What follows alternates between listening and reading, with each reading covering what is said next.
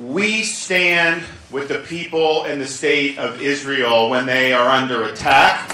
We must, as Americans, unite to say that they have every right to defend themselves. In fact, they have a responsibility to not just defend themselves, but to use overwhelming force to wipe Hamas off the face of the earth. They're terrorists. What they are doing is barbaric.